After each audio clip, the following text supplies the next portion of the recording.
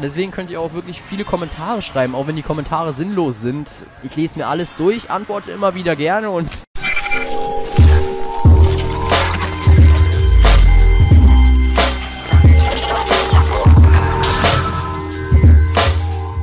Hallöchen und willkommen zurück zu einer neuen Folge Mario Kart 8 mit mir, Thomas von Playgathern. Ja, in der letzten Folge war mal wieder der Aufruf da, schlagt mir eure Themen vor und das habt ihr wieder fleißig getan und wir fangen mit Jalsin Jalsin an, der mich gefragt hat, was ist mein Lieblings-Pokémon? Ich würde sagen, mein Lieblings-Pokémon ist eigentlich Darkrai. Ich mag es halt, also Unlicht-Typen sind, glaube ich, also sind meine Lieblings-Pokémon, so Absol und sowas mag ich auch sehr gerne, aber Darkrai ist meine, meine Lieblings-Pokémon, nicht sure, mein Lieblings-Pokémon. Ach, er ist hier gerade runtergefahren. Leider sind wir hier nur zu zweit in der Lobby und ich hatte keinen Bock mehr zu suchen. Denn ich habe jetzt fünfmal oder so die Lobby gewechselt und jedes Mal war da nur einer drin. Treffen wir ihn? Nee, oder? Schade aber auch. Welche drei Dinge hasse ich am meisten? Gute Frage. Also ich glaube ein... Also im Winter hasse ich es, wenn man sich so abends ganz bequem so im Bett gemacht hat, äh, den Fernseher so anmachen will und dann so die Fernbedienung so sechs Kilometer weit entfernt liegt, das hast glaube ich so ziemlich am meisten im Winter und sonst fallen mir so spontan keine Dinge ein, die ich so sehr hasse. Nee, eigentlich nicht. Ähm, nächste Frage von... Wow, das war natürlich gewollt. Kriegen wir das hin? Kriegen wir das? Okay, das war knapp. Nächste Frage. Was halte ich von Jungs, die Leggings tragen und Mädchen, die sich wie Jungs verhalten? Ähm... Na, Jungs, die Leggings tragen, ist ein bisschen komisch, würde ich mal jetzt so behaupten. Denn ja, Leggings sind eigentlich für Mädchen gedacht und nicht für Jungs. Und das ist dann ein bisschen gay, würde ich mal so behaupten. Und ah, Mädchen, die sich wie Jungs verhalten, das kann ich gar nicht ab, wenn das solche Haftbefehl-Mädchen sind. Ey, ich fick auch mit euch, Jungen. Ey, sowas kann ich gar nicht ab. Ah, wenn die dann noch so assig sind, boah, nee. Fang nicht mit diesem Thema an, ey. Nicht. Ei, das war knapp. Leider können wir hier nur Zweiter werden. Ich weiß auch nicht, woran das liegt. Ich meine, ich habe alles richtig gemacht in diesem Rennen. Kaum Fehler gemacht und trotzdem hat er einen großen Vorsprung. Ich hoffe mal, dass gleich mehr in der Lobby sind. Das hätte einige Vorteile und man kann besser Punkte sammeln. So, das nächste wäre Coldscope. Ja, David, du hast einen Gamer-PC. Hust, hust. Ich habe zwar eine schlechte Grafikkarte, aber der Rest des PCs, würde ich sagen, ist schon not bad. Ich kann GTA in Full HD spielen, dank meines Prozessors, da der einiges drauf hat. Der hat 4,0 GHz mit Boost 4,2. Dann habe ich noch 8 GB RAM. Was dann auch noch ein bisschen die Arbeit abnimmt, wenn ich zum Beispiel mehrere Dinge offen habe. Wenn ich zum Beispiel nebenbei Skype, dann läuft es auch noch flüssig. Also von daher läuft alles geschmiert. Das nächste Thema von Nudelmonster. Was würde ich tun, wenn ich über, äh, wenn ich in einer Nacht eine Million Abos bekommen würde? Ich würde mich als erstes fragen, who the fucking hell is this shit? Nein, also ich würde erstmal PC, glaube ich, einschalten und gucken, ob das irgendwie ein Bug auf dem Handy ist. Denn ich gucke morgens immer beim Handy so nach, was so über Nacht auf YouTube passiert ist, um zu gucken, vielleicht ist ein Abonnent mehr dazugekommen und so. Dann am PC, ob irgendwelche Kommentare da sind, denn am PC ist es irgendwie besser, Kommentare zu beantworten. Ist meine Meinung zumindest. Und ich merke gerade, dass der Fernsehsound ein bisschen zu laut ist beim Mario Kart. Und wir sind Zweite, das läuft schon mal gut. Und wenn das wirklich stimmen sollte, ich würde hart abfeiern, aber sowas von. Und ich wäre den ganzen Tag gut gelaunt. Ich glaube, nichts könnte meine Laune irgendwie nach unten senken. Das wäre auf jeden Fall geil. Nächste Frage. Was würde ich tun, wenn ich alle meine Abonnenten verlieren würde? Also ich glaube, ich wäre enttäuscht. Aber ich wüsste nicht, aus welchem Grund ich alle verlieren sollte. Und ja, also ich glaube, ich würde dann irgendwie nochmal mit einem neuen Kanal anfangen und nicht mit dem. Dann würde ich einfach neu anfangen und gucken, was man da so reißen kann. Nächste Frage. Was halte ich von YouTubern, die mit ihrer Abonnentenzahl angeben? Ähm... Also ich finde, man kann stolz darauf sein, wenn man sich einige Abonnenten erarbeitet hat. Aber ich finde, man sollte nicht allzu sehr damit angeben. Ein bisschen kann man wirklich machen, denn man kann wirklich stolz darauf sein, wie gesagt. Aber zu sehr angeben ist dann auch so eine Sache, wo ich mir so denke, halt einfach deine Schnauze und ja. Denn ich bin auch stolz auf meine schon über 600 Abonnenten. Ja klar, andere wachsen viel schneller als ich, aber das ist mir eigentlich sowas von egal, denn diese Leute, die sagen, du wächst ja überhaupt nicht schnell, man. Das sind die Leute, die sich alles so einfach vorstellen und deswegen gehe ich einfach nicht darauf weiter ein und wir sind Erster geworden. Boom, Bitch. So, nächste Frage vom Easy Excessive. Äh, wovor hast du und hattest du in deinem Leben am meisten Angst? Ich würde sagen, jetzt mal ohne wie eine Pussy klingen zu mögen, äh, vor Insekten. Ich kann diese Dinge einfach nicht ab. Das Aussehen, ja gut, also ja, es geht so, ne? Aber ich mag einfach nicht diese Art, wie die sich bewegen. Das ist so. Bläh. Und auch Spinnen, boah, wenn ich eine sehe, ich krieg. Ich, ich kreisch, glaube ich, rum wie ein Mädchen dabei. Naja, von diesen kleinen Dingern nicht, aber sobald die ein bisschen größer sind und behaarter und dicker, dann. Boah, die sind so ekelhaft. Äh, nächste Frage von ihm. Äh, an welcher Krankheit zerbrichst du dir am meisten den Kopf? Überhaupt gar keine. Ich denke gar nicht darüber nach. Ich lebe einfach mein Leben sozusagen und ich finde, man sollte nicht darüber nachdenken. Das Leben ist nicht besonders lang und deswegen sollte man es aber genießen und über solche dummen Dinge einfach nicht nachdenken. Ist natürlich schön, ist natürlich nicht schön, wenn einem sowas passiert, aber ja gut. Wenn es halt so ist, dann ist es halt so und ah, jetzt muss ich mein Handybildschirm wieder anmachen und versuchen hier gleichzeitig Mario Kart 8 zu fahren. Jetzt kann ich runterscrollen. Da der Handybildschirm ja ausgegangen ist, okay, geradeaus fahren, das müsste eigentlich klappen. Okay, es hat geklappt. Äh, Erfahrungen mit Albträume. Ich habe meistens Puppenalbträume. Hat auch den Sinn, dass ich als... Ich habe als kleines Kind irgendwie irgendeinen Puppenhorrorfilm gesehen und seitdem mag ich die Dinger nicht. Die sind mir am unheimlichsten in allen Horrorfilmen. Wie auch bei Spinnen etc. Ich mag die Art einfach nicht, wie die sich bewegen. Und der liebe Herr Panzer hat uns das Thema gegeben, Feministin. Ich werde darauf nicht eingehen, weil da wahrscheinlich beleidigende Wörter mit reinkommen und deswegen will ich das Thema einfach nicht ansprechen und wir werden einfach zum nächsten Thema hinübergleiten.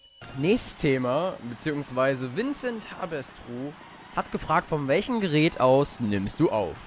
Ich nehme mit der Elgato Game Capture HD auf. Ist so ein, eine kleine Game Capture Card, die man sich um die 140 Euro kaufen kann. Ich habe mir die auf Ebay besorgt, da war die ein bisschen billiger. Ebay Kleinanzeigen kann ich wirklich nur empfehlen, weil da so ein fester Preis ist, wo man noch ein bisschen verhandeln kann.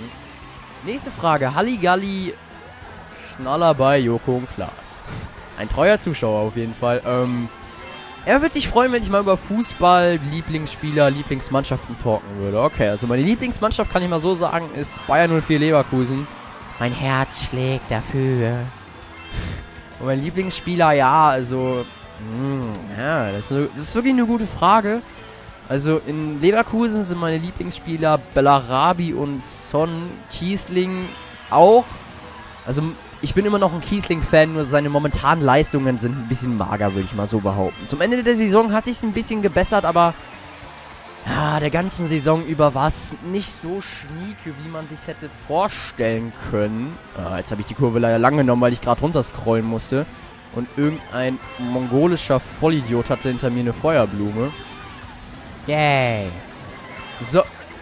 Oh, Alter, fast bin ich über die Banane gefahren, hätte ich den Pilz nicht gehabt.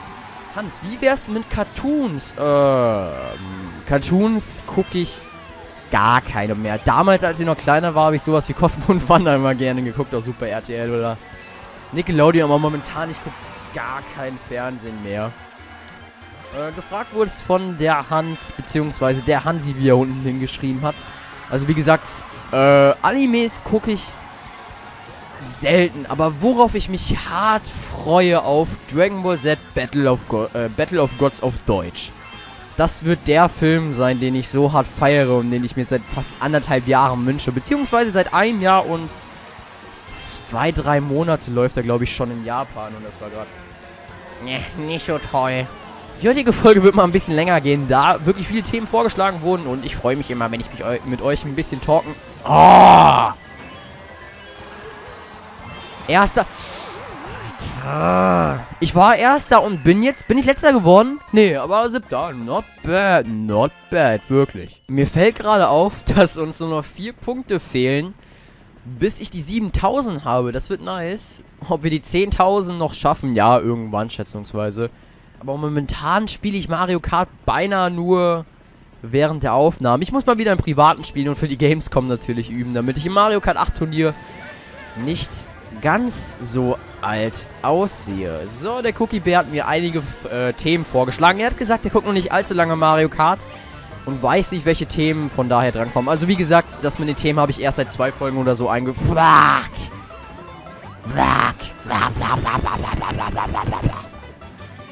Scheiße, Mann. Habe ich erst seit eins oder zwei Folgen erst eingeführt. Die erste Frage ist, Xbox, also die Aussage, Xbox ist besser als die Playstation. Oder andersrum, du sagst eh, PC ist am besten. Ähm, ja, PC hat halt die meiste Leistung, ne? Aber es kommt immer darauf an, was für ein Fan man ist. Zum Beispiel, ich würde sagen, die Wii U ist am besten. ja, also, ich bin natürlich ein Hardcore-Nintendo-Fan und deswegen würde ich sagen, die Spiele von der Wii U reizen mich am meisten. PC-Spiele spiele ich kaum. Halt nur so Horrorspiele aus Steam oder Indie-Horrorspiele. Sonst GTA 5 noch für den PC, aber sonst, ja. Ähm, das ist wieder so ein Glaubenskrieg, PlayStation und Xbox. Also Xbox 360 war von der Grafik her besser als die PlayStation 3. Aber ich finde an der PlayStation besser, dass die Controller viel leichter sind. Ich meine, ich mit meinem kleinen Bizeps, ich hat, hab dann Schwierigkeiten, den Controller zu tragen. Ah, scheiße, der Mongo hat den Stern. Fuck. Nein, Spaß, aber ich finde die Controller bei der Playstation besser und deswegen würde ich mich schon alleine für die Playstation entscheiden. Denn wenn man viele Stunden vor der Playstation verbringt, sind die leichten Controller schon vorteilhaft. Und bei der Xbox 360, wie gesagt, die Grafik ist da besser bei der, bei der Playstation 4.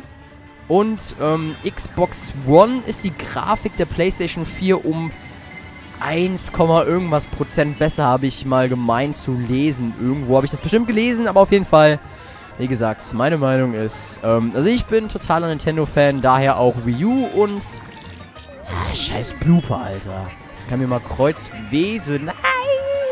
Ah, Dankeschön, Yoshi. Jetzt versuche ich bisschen runter zu scrollen. Ist bei der Strecke etwas schwerer mit dem Handy. Alle Gamer sind nur fett, die Aussage würde ich jetzt nicht behaupten. Ich meine, ich bin auch Gamer und ich bin nicht fett. Nein, also das ist eine blöde Aussage, die irgendwie von älteren Menschen gemacht wurde, weil... Ja, weil die sowas in ihrer Kindheit nicht hatten und dann beschweren die sich immer über die heutige Jugend und vergleichen die auch immer. Und wir sind Dritter geworden. Und haben wir die 7000 Punkte geknackt? Komm, komm, komm, komm, komm, komm, komm, komm, komm, komm. Boom. 7016, das läuft. Ja, also Oh, schon wieder? Ah. Auf jeden Fall, ähm, ich bin deiner Meinung, diese Aussage ist völlig übertrieben. Also, man kann auch Sport treiben und trotzdem Gamer sein. Und wenn man viel Sport treibt, glaube ich kaum, dass man irgendwie fett ist oder sowas in der Art. Deswegen, wie gesagt, die Aussage ist völlig übertrieben. Die nächste Aussage ist, Gamer leben nur im Keller. Ich habe die Aussage noch nie gehört, aber auch das kann man sagen, stimmt nicht. Ich meine, siehe PewDiePie ist auch Gamer und hat einfach mal fast 38 Millionen Abonnenten. Und ich glaube, damit hat er genug Geld, um sich etwas Schönes zu kaufen, beziehungsweise ein schönes Haus etc. Auf jeden Fall, nee, das glaube ich eher nicht. Man kann auch nachher arbeiten und dann abends ein bisschen gamen. Und deswegen würde ich nicht behaupten, dass man im Keller lebt oder so. Also, die Aussage ist auch ein bisschen falsch. Und das waren dann wirklich alle Themen für diese Folge. Ich habe wirklich wieder alle drangenommen. Also falls ihr auch wieder weitere Themen habt für die nächste Folge, ich freue mich darüber. Ich finde es immer geil, wenn ich mich äh, mit euch interagieren kann. Denn wie gesagt, ihr seid die, die meine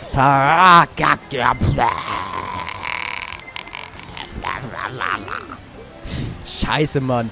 Also ihr seid ja die, die meine Videos gucken und deswegen will ich auch mit euch interagieren. Ich hatte das letztens mal in den Kommentaren gelesen bei COC. Es wurde einer aus dem Clan gekickt, weil er im CW nicht angegriffen hat. Und ich habe gesagt, wer im CW nicht angreift, soll sich auf Rot stellen. Und er hat gesagt, nichts für die Abonnenten tun. Und das finde ich völlig übertrieben. Ich meine, ich interagiere eigentlich relativ oft mit euch. Ich schreibe immer in den Kommentaren zurück etc. Also, das macht mir sogar Spaß mit euch in den, Kom mit euch in den Kommentaren zu schreiben. Ich schwöre. Es macht mir wirklich Spaß und deswegen könnt ihr auch wirklich viele Kommentare schreiben, auch wenn die Kommentare sinnlos sind. Ich lese mir alles durch, antworte immer wieder gerne und ja, deswegen, es macht mir einfach mal ultra viel Spaß. Deswegen weitere Themen unten in die Kommentare rein und schreibt mir sonst noch irgendwelche Fragen, die ihr habt. Die werde ich dann in der nächsten Mario Kart 8 Folge beantworten und ich hasse diese Strecke so dermaßen, Alter. Das Einzige, was man hier machen muss, ist gerade ausfahren und Glück haben, dass man ein Item bekommt. Das war's auch schon. Ah. Sechser, ey. Komm, komm, komm. Irgend noch ein Glücksitem. Ich bin hier sowieso der Glückliche in diesem Spiel. Ah, fuck. Komm, komm, kriegen wir ihn noch vor der Ziellinie? Kriegen wir ihn? Jo, aber trotzdem sind wir nur Sechster geworden. Dann würde ich auch sagen, das war's mit der heutigen Mario Kart 8 Folge. Wie gesagt, schreibt mir eure Fragen, Aussagen in die Kommentare. Und wir sehen uns in der nächsten Folge. Bye.